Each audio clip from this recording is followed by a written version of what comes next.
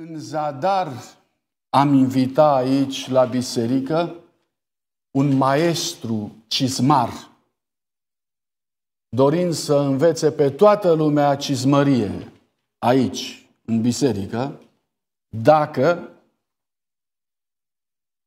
cei din biserică declară clar de la bun început că nu le place cizmăria. E corect? Cu alte cuvinte, degeaba s-ar înființa o clasă de PhD în cizmărie dacă nimeni, chiar nimeni, nu e interesat în uh, meseria asta de pantofar.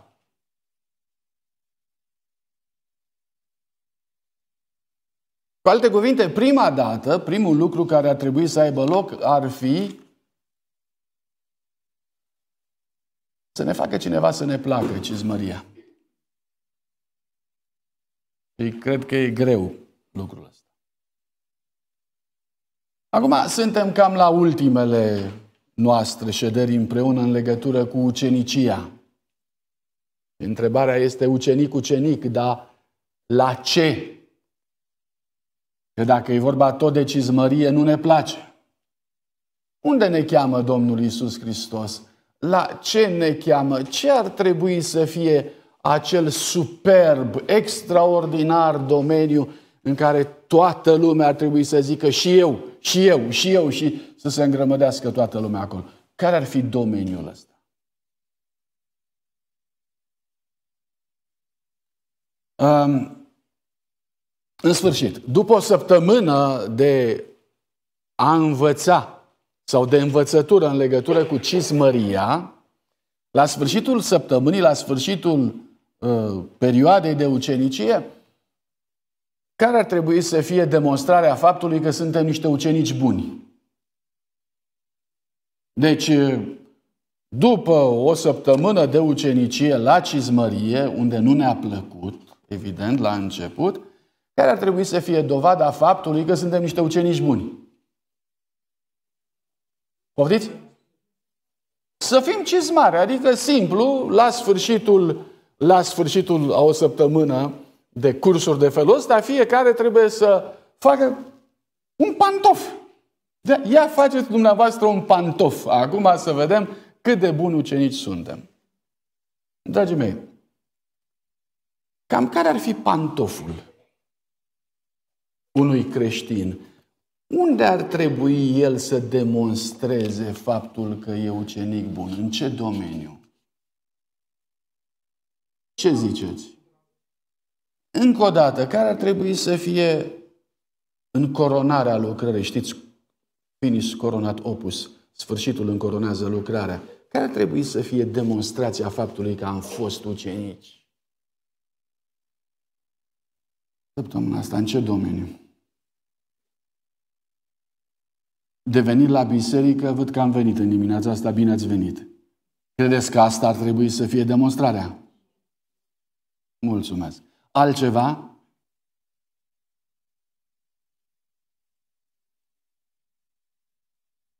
Fraților, haideți să vă provoc puțin. Ehm,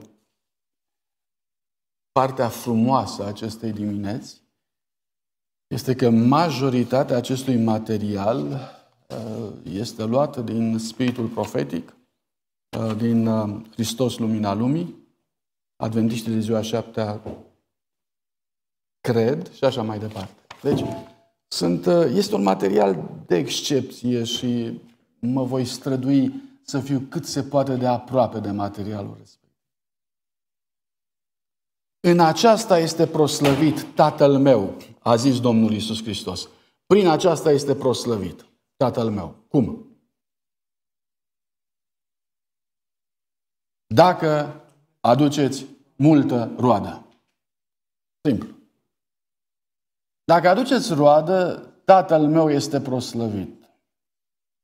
Uneori nu facem legătura asta. Avem impresia că roada e prea pământească, roada o aducem aici, la nivel terestru. Cum să se transfere ideea mulțumirii sau proslăvirii Tatălui de la nivel terestru la nivel ceresc? Cum e posibil lucrul ăsta? și uneori ne este greu de înțeles, dar textul ne spune, prin aceasta va fi proslăvit Tatăl meu. Cu alte cuvinte, în ziua proslăvirii lui Dumnezeu, la sfârșitul timpului, va conta un singur lucru și anume roada mea și roada ta. Acum fiți atenți. Cu toate acestea, Mântuitorul nu cere de la ucenici să se străduiască să aducă roadă. Cum vi se pare?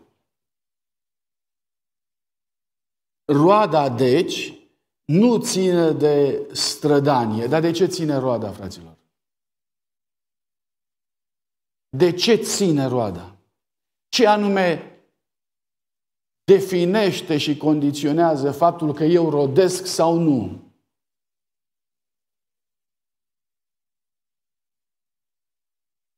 Dumnezeu dorește să manifeste prin tine sfințenia, bunătatea, mila propriului său caracter. Foarte interesant. Dacă rămâneți în mine, dacă rămân în voi cuvintele mele, cereți orice și veți avea sau vi se va da. Vreau să vă întreb, nu este, nu este într-adevăr supranatural să cer de la Dumnezeu și să primești? Asta este marea problemă a unui agnostic. Un agnostic zice, voi vorbiți, dar nu se întâmplă. Voi vorbiți, dar ce dovadă aveți? Voi vorbiți, dar cu ce probați? Care este roada? Care e dovada? Și textul spune, dacă rămâneți în mine. Dacă rămâneți în mine. Ce e aia să rămâneți în mine? Ce e aia? E vorba de relația aceea mistică. Știți? Rămânem, ne gândim la Dumnezeu, medităm. Ce este?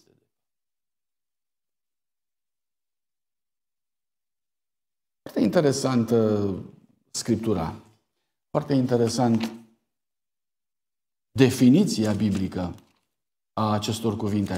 Uitați, în 1 Ioan, am mai spus noi, dar 1 Ioan, Ioan definește ce înseamnă să rămâi în Domnul Isus Hristos?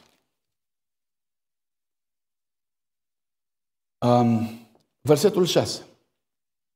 Uh, 1 Ioan 2 cu 6. Cine zice că rămâne în el, trebuie să trăiască cum a trăit Isus. Wow! Ce înseamnă să rămâi în Isus Hristos? E o viață trăită în Isus Hristos, este o realitate care schimbă viziunea noastră în legătură cu lumea, viața, cosmosul, existența noastră. Totul se schimbă. Trăiești ca Isus. Cu alte cuvinte sau cu alte ocazii, Mântuitorul spunea, dacă veți mânca trupul meu și dacă veți bea sângele meu. Voi trăiți prin orice cuvânt care iese din gura lui Dumnezeu, Matei 4 cu 4. Viața lui Hristos în tine produce aceleași roade ca și în El. Wow! Viața lui Hristos în tine produce aceleași roade ca și în Isus Hristos. Nu este altceva.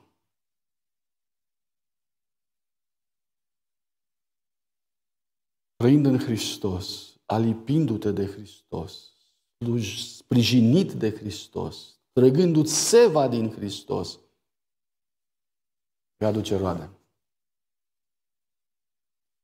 Încă o dată, Mântuitorul nu cere de la ucenici să se străduiască, să aducă roadă. Roada nu e o problemă de strădanie. Roada e o problemă de a trăi cu El în fiecare moment. Și trăirea nu se poate face dacă nu-ți place. Nu poți să devii ucenic la cizmărie dacă nu-ți place. Trebuie să întâmple ceva. Să-mi placă. Îți place? Îți place? Îți place să stai cu el, îți place să îl auzi, îți place să-l, să-l crezi. La ultima întâlnire cu ucenicii săi,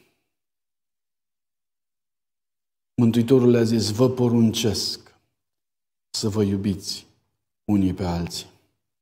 Porunca aceasta era nouă pentru ucenici pentru că ei nu se iubiseră unii pe alții așa cum îi iubise Hristos. Dar cum se iubiseră, frații mei?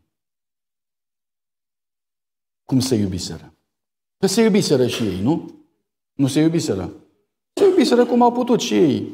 Se mai supăraseră că Iacob și Ioan doreau să fie cei din tâi, dar se iubiseră unii pe alții, sigur că da.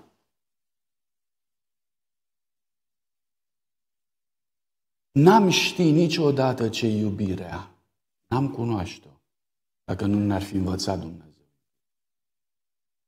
Am fi crezut că iubirea e în felul nostru, e în stilul nostru, acela rece, distant. Iubim și așa, nu? Nu iubim noi așa. Iubim rece, iubim distant, iubim fără implicație, iubim așa cum credem noi. Iisus Hristos zice să vă iubiți unii pe alții cum v-am iubit eu. Adică dați-vă viața unii pentru alții. Ne dăm viața unii pentru alții? Sigur că da. Pentru cine? Pentru copii, pentru... Dar ia dați-vă viața pentru patru scaune mai încolo din biserică. Patru scaune mai încolo. Să vedeți dacă se întâmplă.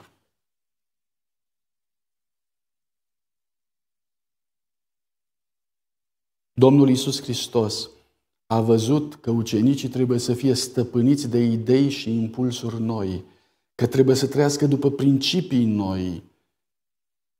Prin viața și moartea lui Isus trebuia să ajungă la o nouă înțelegere a iubirii. În fiecare oră a șederii sale pe pământ, iubirea lui Dumnezeu se revarsă de la el în șuvoaie nestăvilite. În fiecare oră n-a făcut altceva decât a învățat pe oameni să iubească. În fiecare oră, în fiecare secundă. A fost o lecție în legătură cu iubirea. Am priceput, n-am priceput. E o altă problemă. Dar în fiecare oră n-a făcut altceva decât să învețe același lucru. Același lucru. Iubirea. Toți cei ce sunt plini de Duhul lui vor iubi așa cum a iubit El. Același principiu care îl însuflețea pe Isus îi va însufleți și pe ei în relațiile lor. Fraților, asta e cizmăria noastră. Nu e altceva decât cizmăria noastră.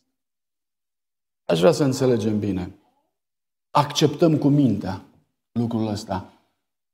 Dar e un lucru care nu ne câștigă. Adică ă, să-ți iubești vrăjmașii e o butadă foarte des întâlnită între creștini. Dar în realitate vrăjmașul este omul care nu-ți place. Chiar nu-ți place și nu te interesează. Pentru că nu-ți place și nu te interesează, nici nu-ți trece prin minte să-l iubești. E limpede. Noi iubim selectiv. Iacob și Ioan, da? Iacob și Ioan. Erau mai la oaltă. Petru și Andrei erau mai o altă. Da, să-ți dai viața pentru altcineva care nu e în cercul tău de influență, în cercul tău de, de, de comoditate emoțională, e greu. Aș vrea să vă invit să ne rugăm.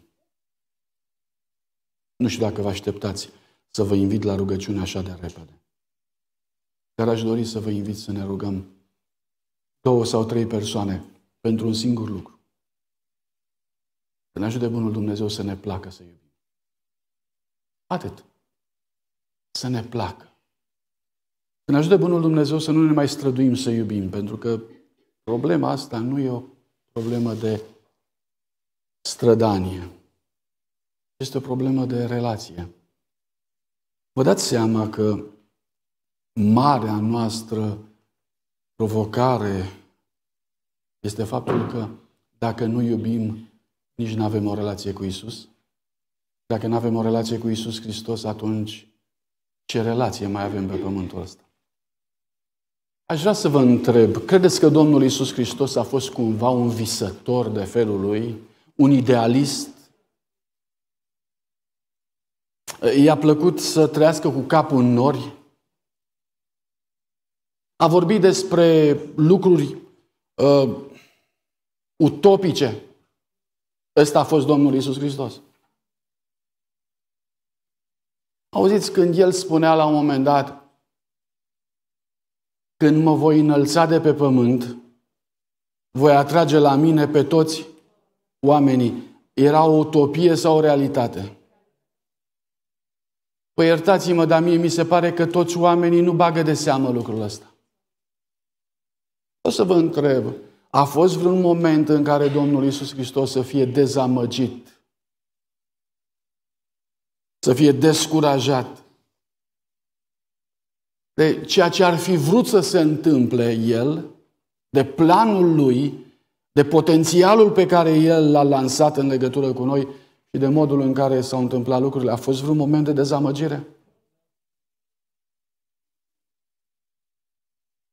Auziți, ca mântuitor al lumii, Hristos a fost în mod constant confruntat cu aparența eșecului.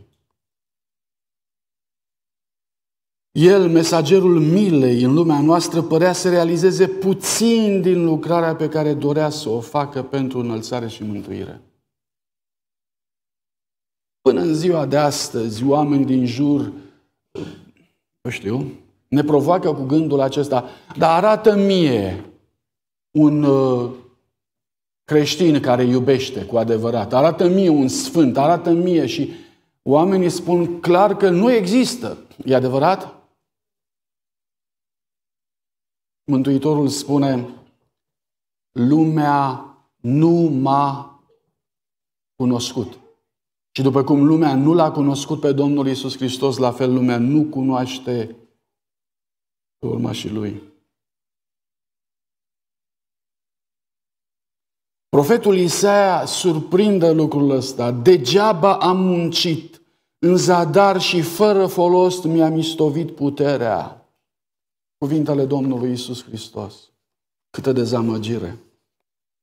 Vă dați seama că în contextul ăsta, fiecare dintre dumneavoastră reprezentați un motiv de încurajare pentru Mântuitorul? În Isaia 53 se spune, va vedea rodul muncii sufletului său și se va înviora din dezamăgirea aceasta, din descurajarea aceasta teribilă, tu, atașamentul tău de credință față de Domnul Isus Hristos, va reuși să-i ofere o motivație suficient de puternică pentru ca să poată urca crucea. Mântuitorul a urcat crucea datorită motivației pe care mântuirea ta, cu mântuirea mea, i-a pus-o înainte.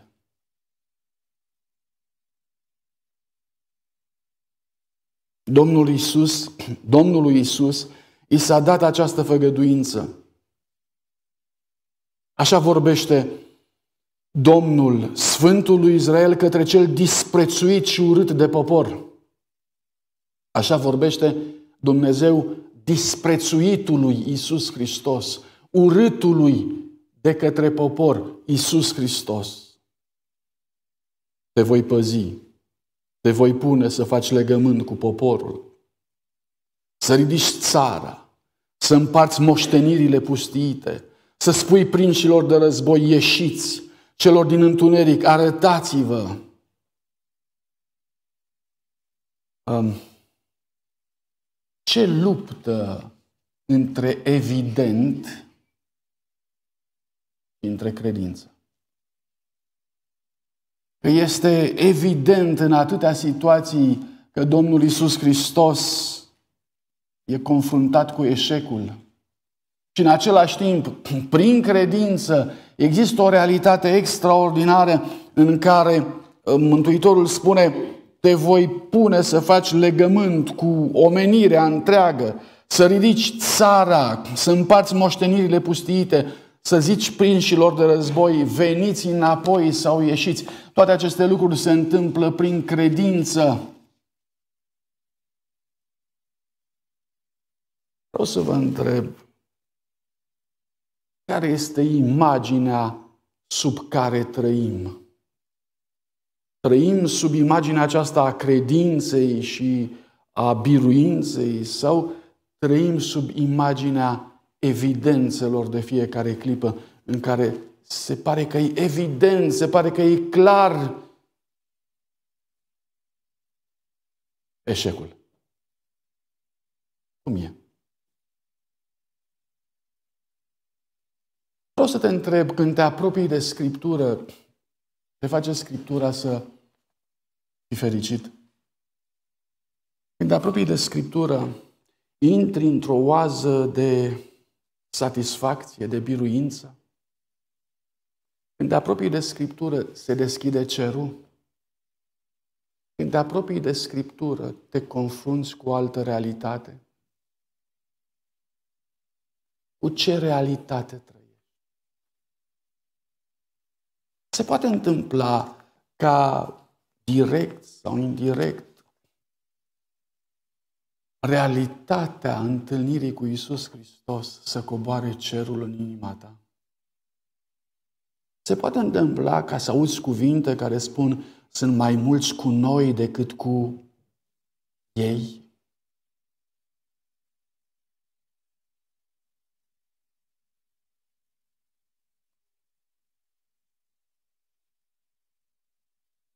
Pe acest cuvânt se sprijinea Iisus și nu i-a dat lui Satan niciun avantaj.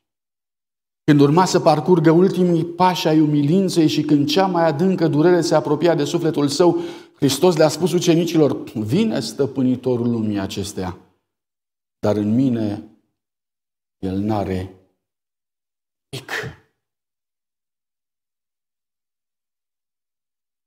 Apoi, în ciuda dezamăgirii și în ciuda evidenței, Mântuitorul spune, stăpânitorul lumii acestea este judecat acum și va fi dat afară. Aruncat afară.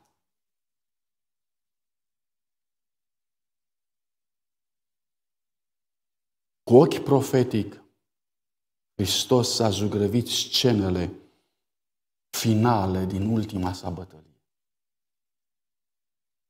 El știa că atunci când va zice s-a sfârșit, când El va zice s-a sfârșit pe pământul ăsta, întregul cer va triumfa. Foarte, foarte interesant. Pe pământ se sfârșea, în timp ce în cer începea. Începea victoria lui Isus Hristos eliberarea de toate acuzațiile lui Satan și de forța păcatului, eliberarea ființei umane de sub această robie teribilă a fricii, a temerii, care zice că ține pe toți oamenii în robie. Urechea lui a auzit cântecele îndepărtate și strigătele de biruință din curțile cerești. Știa că atunci avea să sune clopotul de moarte al domniei lui Satan, iar numele lui Hristos avea să fie rostit dintr-o lume în alta, în tot universul. O, ce frumos! Hristos se bucura să facă pentru urmașii săi mai mult decât puteau ei înșiși să ceară sau să gândească. El vorbea cu siguranță știind că se dăduse un decret atotputernic înainte de crearea lumii. El știa că adevărul înarmat cu atotputernicia Duhului Sfânt va birui în lupta cu răul și stindardul însângerat va flutura triumfător asupra urmașilor săi. Știa că viața ucenicilor săi încrezători va fi ca a lui. Un șir neîntrerupt de biruințe nevăzute ca atare, dar socotite în felul acesta în marele viitor. Ce frumos! Biruințe nevăzute de lume, neînțelese de lume, nesocotite ca atare, dar socotite în felul acesta unde? În marele viitor.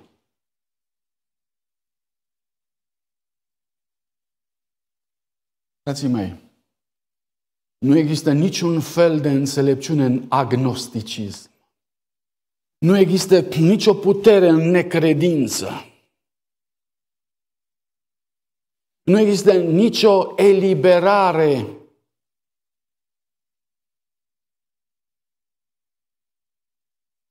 în evoluție.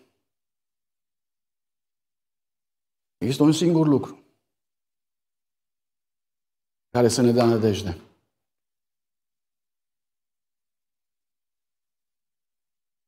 Armonia dintre Isus Hristos și mântuirea Lui și noi și nevoile noastre.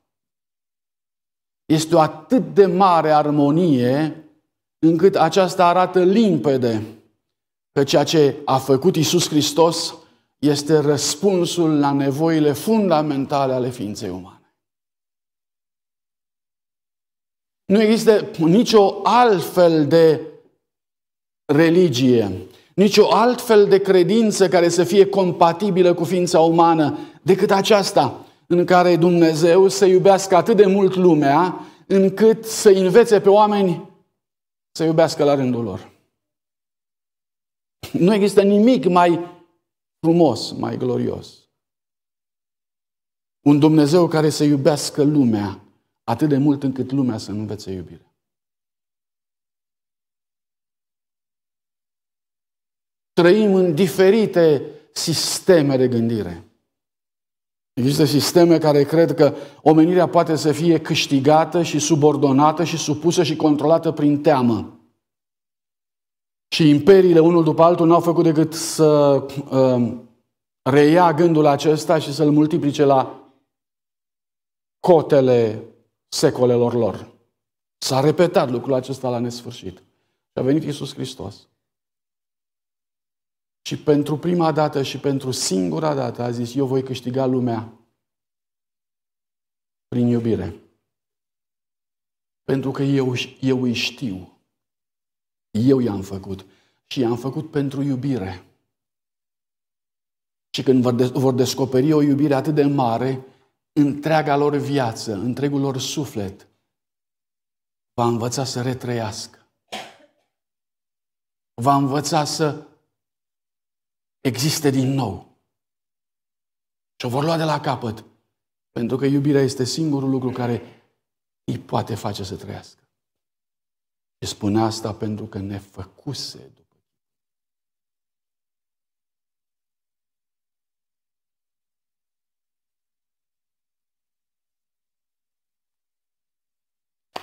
Și ne-a pus față în față cu iubirea Lui.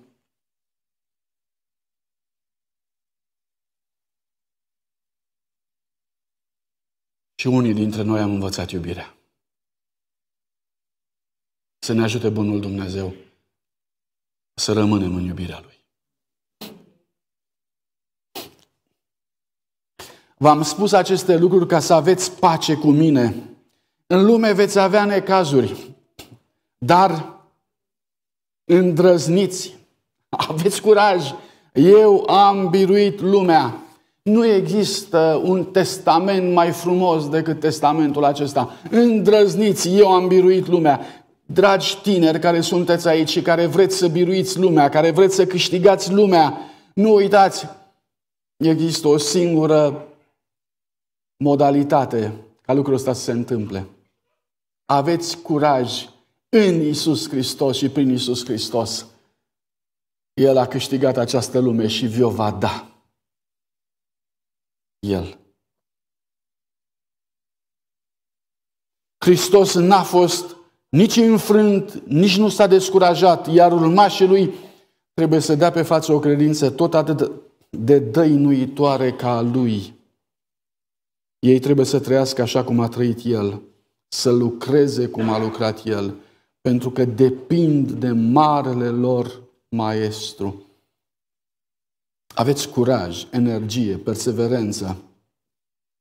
Uneori aparente imposibilități vă blochează calea, dar mergeți înainte prin harul lui. Nu vă plângeți de greutăți. Sunteți chemați să le depășiți. Nu trebuie să vă descurajați de nimic, ci să nădăjduiți totul. Hristos va lega de tronul lui Dumnezeu prin lanțul de aur al neîntrecutei sale iubiri. Este scopul lui ca cea mai înaltă influență din univers, emanată din izvorul întregii puteri, să vă aparțină. Vreți să mai citesc o dată? Este scopul lui ca cea mai înaltă influență din univers, emanată din izvorul întregii puteri, să vă aparțină.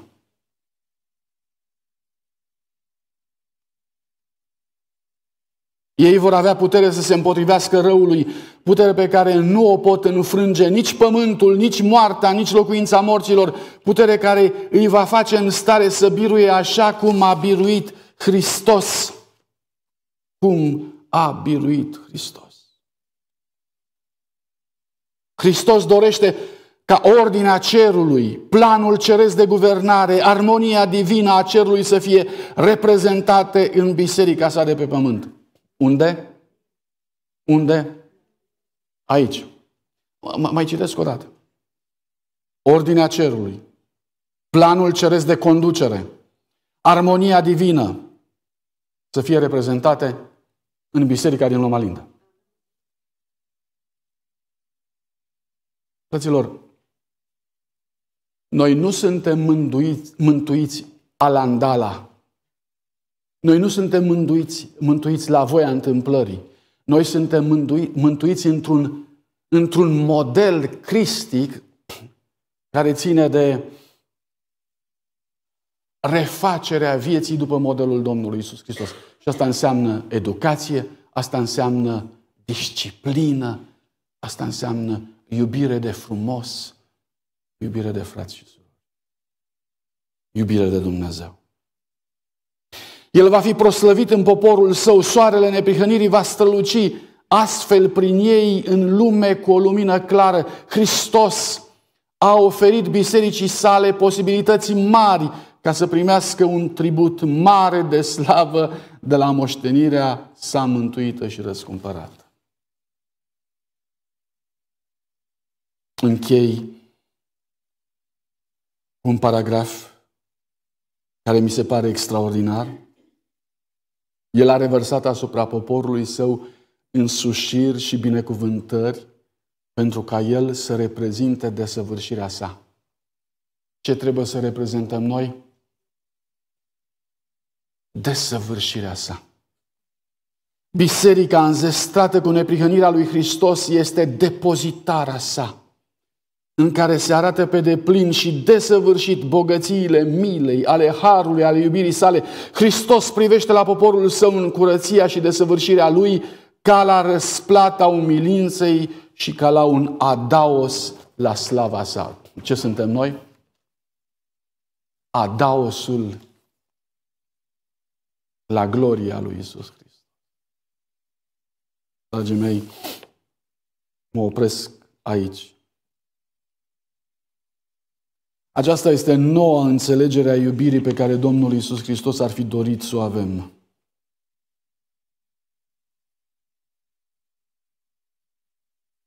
Oriunde există unitate cu Hristos, ea este dovada refacerii în om a chipului lui Dumnezeu și a faptului că un nou principiu al vieții a fost sădit.